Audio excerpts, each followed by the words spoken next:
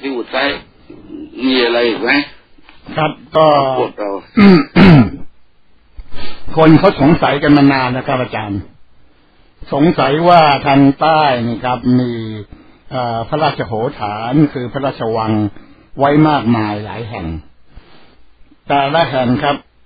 สิ้นเปลืองงบประมาณแผ่นดินไปก็เยอะ แต่กลับไม่เห็นมีครับนะฮะกษัตริย์หรือ คนเง่ากษัตริย์ลงไปเยี่ยมเยียนไปพักกันบ้างเลย เป็นระยะเวลาหลายปีแล้วครับ เขาถามว่าเอาเงินงบประมาณแผ่นดินไปถลุงไปสร้าง ไอ้พระราชโหฐานหาเหวอะไรนั้นทำไมนะครับ ต้องขอว่าพูดตามคำพูดของชาวบ้านนะครับนะฮะซึ่งเป็นคำพูดของชาวบ้านจริง ๆ ครับ บอกว่าไปสร้างมันไว้ทำหาเหวอะไร บ้านคนจน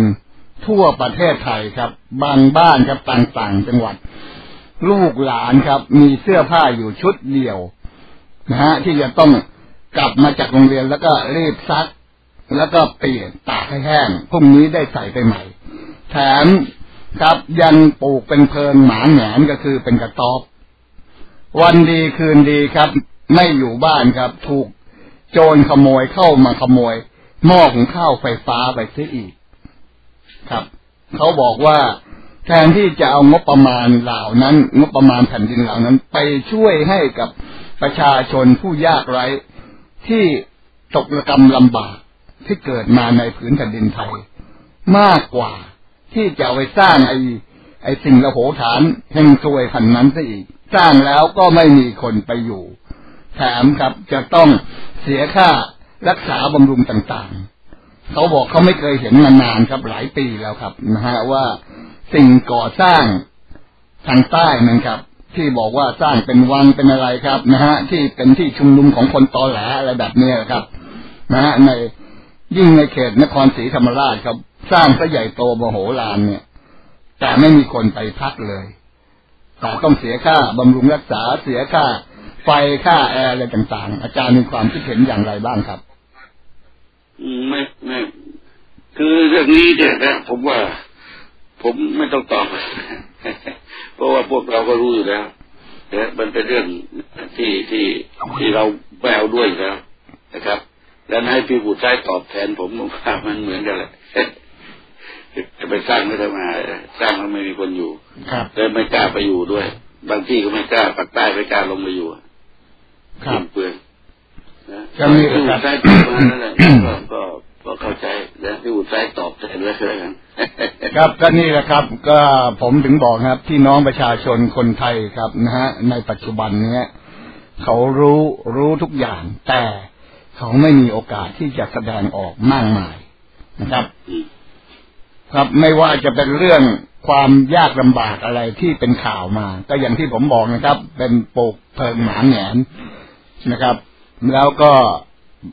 เด็กหลานมีเสื้อผ้าอยู่ชุดเดียวที่จะไปโรงเรียนเนี่ย ไปโรงเรียนกลับมาแล้วก็ต้องรีบซักผ้าเพื่อที่จะวันรุ่งขึ้นจะได้มีใส่แต่กับไอ้คนที่ฐานชาติฐานเงินงบประมาณแผ่นดินครับ ผมไม่ทราบเหมือนกันนะครับว่าคนเหล่านี้ครับ ยังมีจิตใจที่พูดง่ายครับ อยากจะอยู่ร่วมแผ่นดินกับ พี่น้องประชาชนคนไทยได้อย่างไรนะครับ ครับก็ขอเชิญชวนนะครับ อันนี้ขอนอกประเด็นกันครับ ขอเชวนชวนนะครับพี่น้องประชาชนคนไทยครับ ที่เป็นเจ้าของแผ่นดิน และหูตาสว่างครับ ลุกขึ้นเถิดครับ ลุกขึ้นมาเพื่อขับไล่นะครับ ไอ้สิ่งจอมปลอม สิ่งสมมุติขึ้น แต่ครับมาผานเงิน ผานงบประมาณ ผานภาษี ของราษฎรไทยครับทำให้พวกมันมีอยู่ดีเป็นสุขครับ ไม่ว่ามันจะไปไหนหรืออะไรต่างครับทำให้พี่น้องประชาชนคนไทยครับ ในประเทศไทยเดือดร้อนไปจะหมดครับ แม้กระทั่งไปต่างประเทศไปอะไรก็แล้ว แต่ก็ไปสร้างความเดือดร้อนให้กับพี่น้องคนไทยไว้ครับนะฮะเพราะว่าไม่เดือดร้อนได้ไงครับ ไปทำเรื่องเสียหายอะไรต่างๆครับทำให้พี่น้องคนไทยครับ ต้องเอาภาษีของพวกเขาครับ ไปชดใช้แทนครับ นะฮะแทนที่พ่อมันครับก็ต้องขอพูดกันตรงๆ ครับ พูดแบบชาวบ้านเลยนะครับว่า พ่อมันขึ้นติดอันดับเป็นเศรษฐีระดับหนึ่งของโลกนะครับ ในนิยสารพบนะครับว่ารวยติดต่อกันมาเป็นเวลาสี่ห้าปีนะครับ นะฮะทำไมครับ รัฐบาล ยังต้องเกียดเงินภาษีราษฎรครับนะฮะซึ่งเป็นเงินที่เขาเรียกว่าตากเหงื่อต่างน้ำนะครับทำงานด้วยความยากลำบาก เอาไปโปะให้ไอ้โคตรเง่าตระกูลนี้ ใช้กันอย่างอิ่มหนีทีมันครับ เสร็จแล้วเป็นไงครับ วันดีคืนดีพี่น้องคนไทยในประเทศไทยและทั่วโลกก็คงได้เห็นกันใช่ไหมครับว่า วันดีคืนดี มันไม่เอา พวกฝ่ายที่ออกมาเรียกร้องประชาธิปไตย พ่อมันก็สั่งให้ลูกน้องของมันกับทำการฆ่าสังหารหมู่ครับนะฮะอีลูกสาวกับคนโปรดนอนอยู่ข้างวัด ซึ่งเป็นเขตอภัยทานนะครับ นอนฟังเสียงกระสุนปืนได้อย่างไรครับ ปล่อยให้ประชาชนที่เข้าไปหลบร้อนพึ่งเย็นในวัดนั้น ถูกสังหารหมู่ไปเสียตั้งหลายศพ แล้วแบบนี้นะครับ พี่น้องประชาชนคนไทยทั้งในประเทศไทยและยังต่างประเทศ ยังจะสรรเสริญเยินยอมันอีกต่อไปทำไมครับนะฮะก็มีคนส่งมาให้นะครับ บอกว่าที่ปากพนังครับ ค่าเมนเทนเมนครับ ปีปีสิ้นเปลืองมาก ไร้ประโยชน์ครับเขื่อนปากพนังที่ว่าช่วยการเกษตร จริง ๆ แล้วทำให้เสียหายมากกว่าครับ ครับเราก็ต้องเอามาครับ เรื่องนี้เรื่องจริงครับ เราก็ต้องเอามาบอกกล่าวให้กับพี่น้องประชาชนคนไทยครับ ทั้งในประเทศไทย และ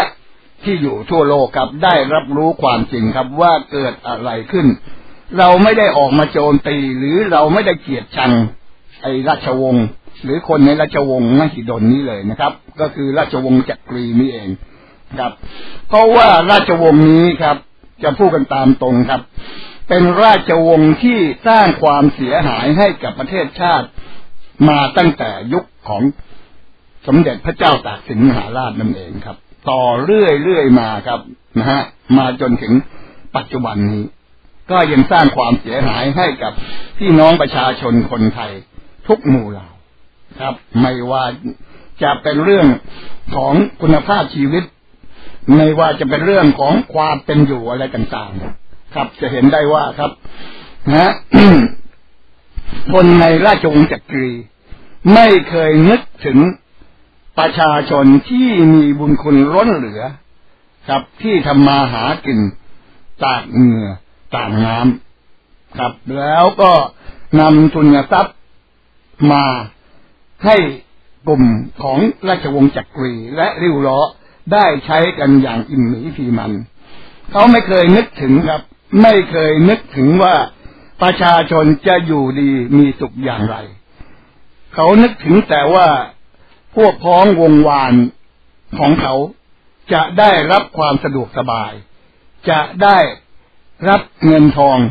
อะไรต่างๆ อย่างอยู่อย่างอิ่มหนีทีมันครับนะฮะใครขึ้นมาคัดค้านใครขึ้นมาขัดขวางจะต้องถูกกำจัดให้สิ้นซากหมดไปครับ หลายๆท่านครับ พี่น้อง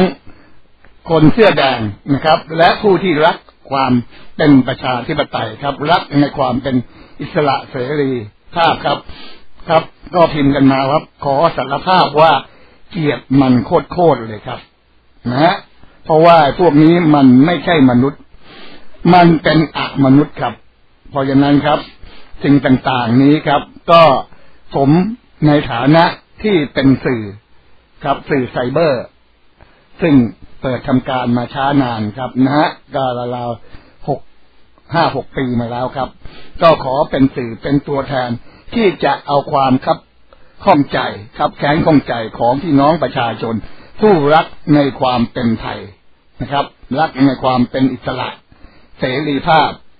นะครับ เอามาระบายแทนพวกท่านครับ มีอะไรครับส่งกันเข้ามาครับนะฮะ ใครไม่กล้าพูดสถานีใด ไม่กล้าพูดไม่เป็นไรครับ ปล่อยเขาครับ ส่งมาครับวุฒไซนิวยอร์กจะเป็นคนเอามาพูดเอามากล่าวให้กับพี่น้องประชาชนคนไทย ทั้งในประเทศไทยและทั่วโลกได้ฟังกันครับนะฮะเพราะว่านี่เป็นความจริงครับนะฮะเป็นความจริง ความจริงเป็นสิ่งที่ไม่ตาย แต่คนพูดอาจจะตายก็ได้ครับ แต่ เรื่องนั้นเป็นเรื่องจิบจอยครับ เรื่องเล็กน้อยมากครับ ความตายทุกคนก็จะต้องตายครับนะฮะจะตายช้าตายเร็วครับ มันตายแน่นอนครับ แต่สิ่งที่เราจะต้องทำคือต้องเอาความจริงมาไล่ความเท็จให้พี่น้องประชาชนคนไทยครับ